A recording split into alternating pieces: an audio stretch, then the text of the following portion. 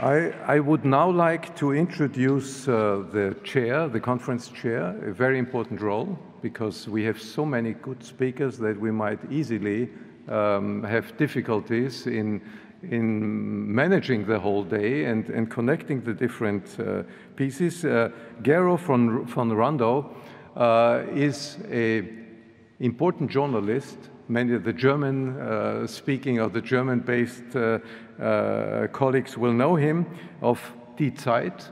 Uh, he has a specific experience which is related to our conference because he was instrumental in building up Die Zeit online, so he, he knows about these subjects. But otherwise, of course, he was dealing with science subjects and now uh, with politics. And, and he will make sure that, uh, you know, the old Goethe saying uh, will remain valid during this conference because uh, the Germans, generally speaking, can endure injustice, but they cannot endure disorder. So we need order in this conference, and so uh, uh, Gero von Randow, it's yours. Thank you.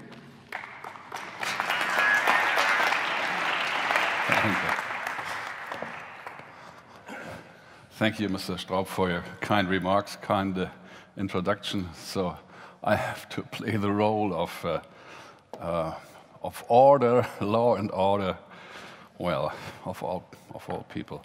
Um, okay. Uh, when you talked about man-machine interaction, an article came to my mind which I stumbled upon yesterday in the South China Morning Post. And I would like to read some, some lines. It won't take very long. Um, Kiichi Ishikawa from the city of Yokosuka, southwest of Tokyo, uh, entered the SoftBank Corporation shop on Sunday morning, Kyodo News reported. Local police were called when 60 year old Ishikawa flew into a rage at the attitude of a human member of staff. Instead of attacking the object of his anger, however, Ishikawa allegedly kicked and damaged one of the company's Pepper humanoid robots. Described as a robot with a heart, SoftBank started selling the devices in June, primarily as human companions. The company says Pepper is able to recognize emotions in humans and is programmed to respond with its own emotions. Over time, the um, robot's developers claim Pepper will establish its own personality. And while the Android is designed to read emotions, the designers may need to program future versions to predict outbursts of violence and equip them with a way of swiftly getting out of a tight situation. Ishikawa has admitted causing damage to the robot by kicking it. Police said the android appears to have suffered internal damage as it moves more slowly. So concerning the, the man-machine interaction, it is a whole field, unexplored, and uh, I hope uh, concerning that field as well, we, are, we will get uh, a bit more insight during the next two days. But now it's time for a political keynote. Um, a European, from a European point of view, today's and tomorrow's topics are profoundly European. Mr. Markku Markkula, from Finland has chosen the title Towards a Smart Europe, which might sound kind of strange these days, but at least it makes me even more curious. Particularly because uh, Markku Markkula was elected president of the European Committee of the Regions in February 2015. Innovation in Europe is the grand issue of his remarkable, remarkable political and international career. So I Happily, I give the floor to you, Mr. Markkula.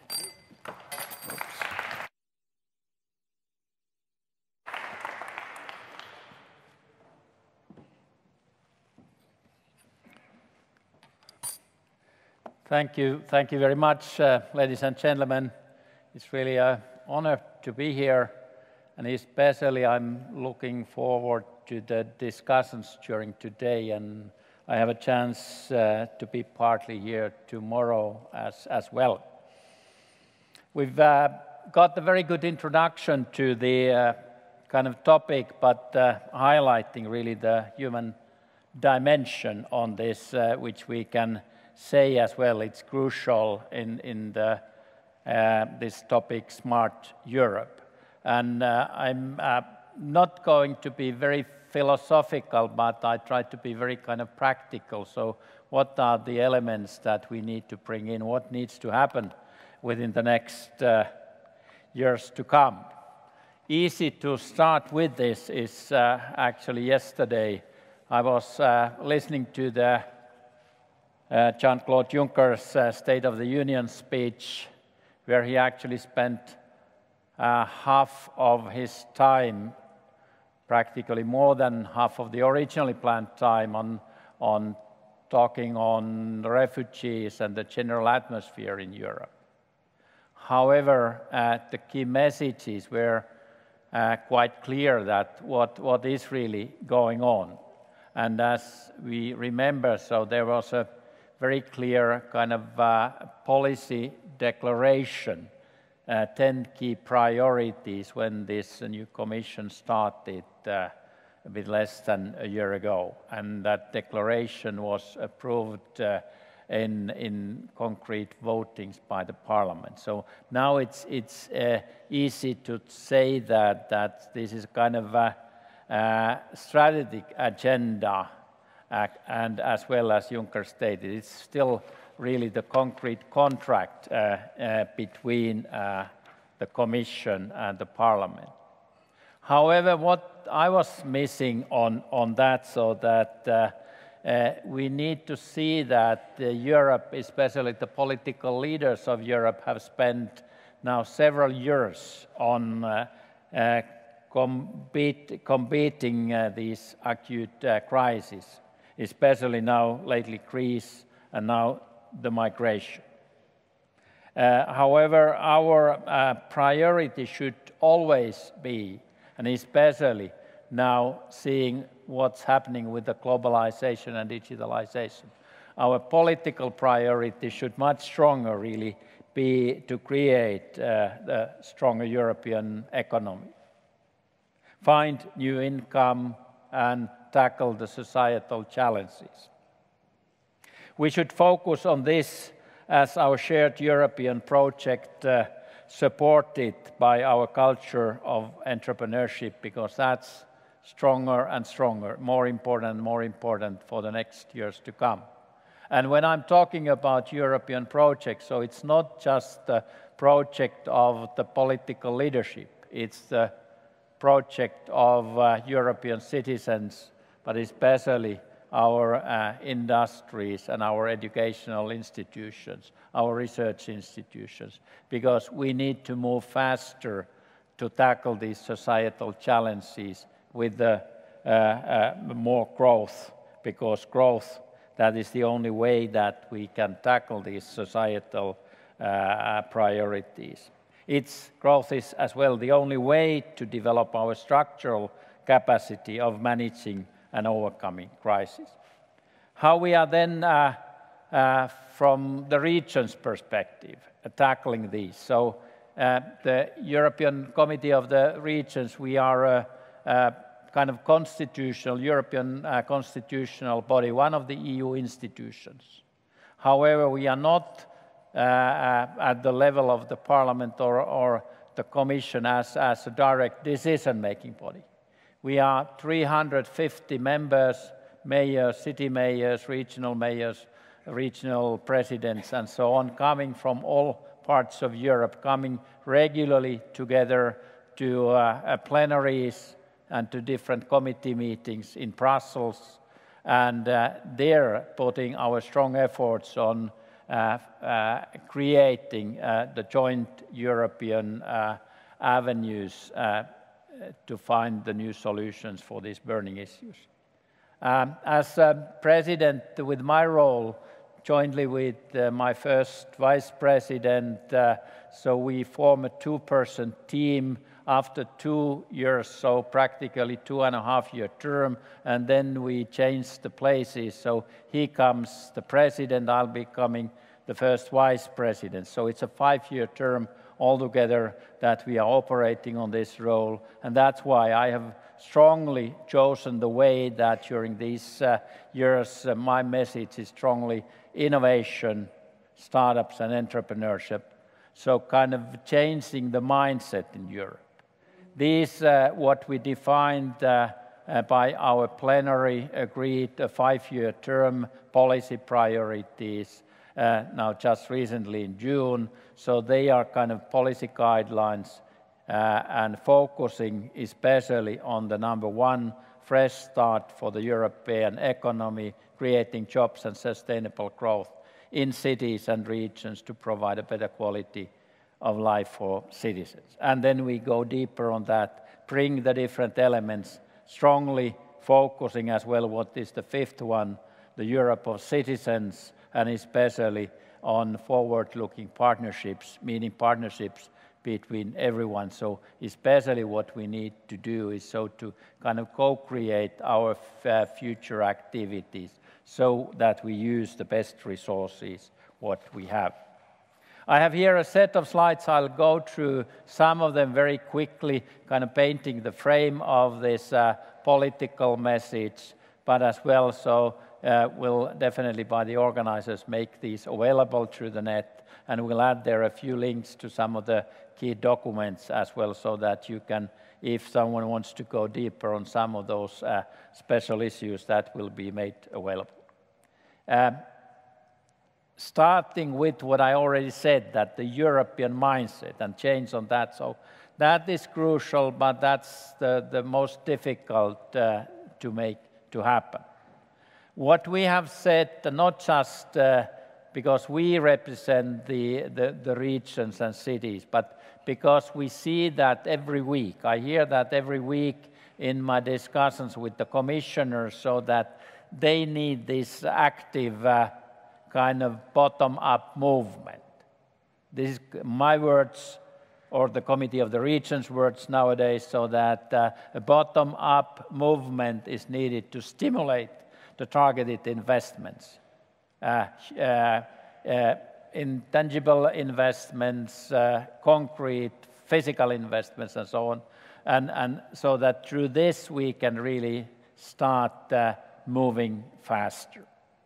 We define there some of the key instruments for that digital single market. It's a joint effort through, through Europe. We'll hear a lot more on, the instruments inside that during uh, these two days here. The other one, which I put now on a special role here, is the smart specialization. That's a kind of human uh, uh, region focused instrument so that every region in Europe has defined their uh, smart specialization priorities. It's a regional um, strategy uh, based on smart specialization, innovation strategy. It's, it's especially focused on as an economic uh, change agenda. So it's not covering all aspects of regional policy, but it's covering where the region defines they should be focusing at. And build on that, then organizing more uh, collaboration with the others, these European partnerships, which are the instruments for uh, reaching the, the, desired results. What does this uh, mean in practice? So, kind of uh, jump to that. So, I, I quoted the text that I wrote for the Luxembourg uh, presidency because we collaborate regularly, regularly with the, the heads of uh, states uh, when they operate as a presidency uh, countries. Now, Luxembourg, uh, one of their priorities uh, has been this cross border collaboration. What can Europe do? How to use better the financing? How to move on with the investment package. But as well, we operate already now with the coming Dutch presidency next spring. One of the very focus areas is the, renewing of the urban agenda, the role of cities, how that can be used as an instrument on change. and then we move on already working, actually have been fixing already with the government of Slovakia uh, the special summit in the beginning of July next year, focusing on integrating energy, transport, digitalization, and integrating that more on this change of mindset. How can we get more out of this? A bit like not the theory, but the graphic showing on that that uh, we have a certain question marks because these what there are uh, in, yellow, uh, the EFSI, that's the strategic investment package. Then uh, ESIF is the structural and investment funds, the cohesion funding. Semester is the European governance structure with the renewing the policy on putting detailed actions on a member state level, and then this Horizon 2020, the research book. So, but what kind of integrates them is that the action needs more and more to be on a regional level. There is this RIS3, the regional innovation strategy based on smart specialization, focusing especially uh, the role of cities in getting this urban agenda to be a real concrete instrument, and then smart, sustainable human city activities, where again the digitalizations and the benefit out of that are crucial. What are then I have added there the question marks, and with the slide set, I will have a few of the answers on that as well. And our target now, looking what needs to be uh, encouraging that bottom-up movement, it is to move the focus on more on intellectual capital, renewal capital, increase the renewal capital of the cities, and that comes from the human beings. From the kind of traditional funding physical infrastructure, and from that to funding knowledge co-creation infrastructure, uh, to bridges uh, between cultures channels uh, uh, for the flow of ideas, roads for mental mobility, and the free movement of knowledge and innovation across borders and barriers. So we need to be more open, more target-oriented, and more collaborative. Um, I uh, quoted, uh, took here three pictures from a commission, uh, special commission-funded exercise where the regions collaborate and where they have defined the vision and scenarios uh, for the European uh, territory towards 2050. So, but just pointing out that they're the, the key elements there. So they are the regions, they are the cities because the action is there. Whatever is in the discussion up on the, the uh, political level in Brussels, that, that does not bring the results. But there we need to remind that we need to encourage the cities and regions, city councils, regional councils, policymakers to look both opening up European markets to global competition, but as well as uh, what is the, how to get the best uh, knowledge in active use, how to increase the accessibility to open up regional potentials. Richard Straub talked about the new opportunities. So we need to start seeing those. But then it means what is on the third uh, uh, graphics there that, that uh, how then the different regions, so those with the red circle or the, the uh, uh, green dot or whatever, so how they start to doing uh, these activities in good partnerships. And that's where they are using this cohesion funding much more than they, they, because in the previous years it was not even allowed to use that for the international collaborators. Now it's recommended. So to please use that, and that's where these spearheads of the uh, the smart specialization regional strategies play a crucial role. So regions which share the joint interests so need to do much more uh, joint. Um, a few texts there. I don't go in detail, but uh, just to want to mention that here, especially the collaboration between industry and universities plays a crucial role. Not to forget that part of some of the universities need to be very forward-looking science university doing uh, uh, exemplary uh, research, integrating that then for the benefit of everyone. And then we need more integration, more synergy between research, education, and innovation, focusing more on the learning again, coming very uh, closely to the topic of ELIG. Uh, and then uh, with that, so uh, divide, closing the innovation divide, that's crucial. There are a few key points, so we need to focus much on so what we can, with the simple wording, talk about innovation hubs, how to organize that collaboration. We have a lot of good plans, yeah, but now it's time to move to action, experiment, uh, uh, rapid prototyping, piloting these activities. But again, what I encourage, do that uh, together. How then to renew the regional policy to be based on this uh, uh, smart specialization? I have started to add that if we have the investment pack package there up, up there on the, the left-hand uh, up corner and the cohesion funding. So there it needs to be both based collaborating on ecosystems. How to have more this uh, tackling the complexity of the ecosystems, moving on through the public-private uh, people partnerships. We have there, when we look the investment package and the governance system, there we have the digital single market and how to speed up that development. And then when we look cohesion funding and research funding, this needs to be going much more hand in hand compared to what they are doing at.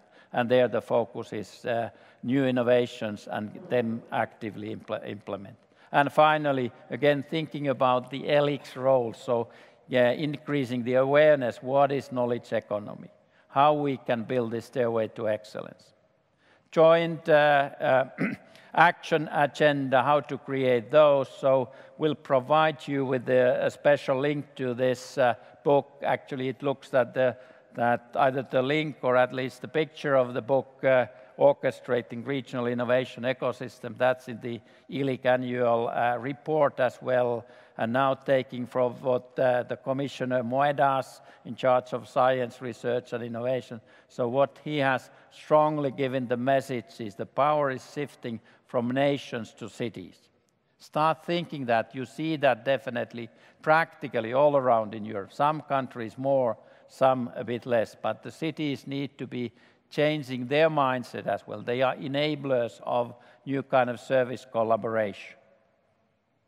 Uh, a few slides, some concrete examples. Uh, this June, we organized, EU organized a conference on Open Innovation 2.0 sharing the responsibilities, finding partnerships, and uh, they're using already a lot of digitalized regional information modeling, place-based activities, how to build on, how to integrate that to digitalization industry 4.0. We had a nice teams working there we uh, continued the actions or the Dublin declarations, two previous uh, EU conferences on these open innovations were in Dublin and now in Espoo, how that is now then on an implementation process, action process. And I have a few slides about the examples of those, how the teams worked uh, for three days and then followed with the two days with the conference collaboration.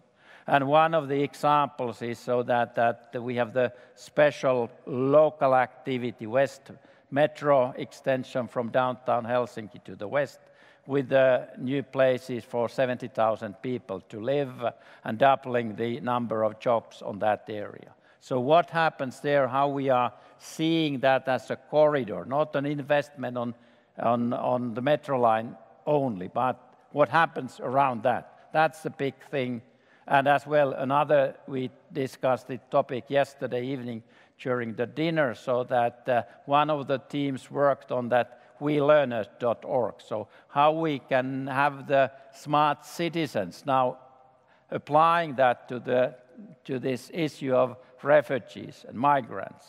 That could be a very crucial role using the modern technology in the educational aspects because that's what all those migrants need. They need to be able to learn the language wherever they are going to locate and cultures and, and linkages with the local people.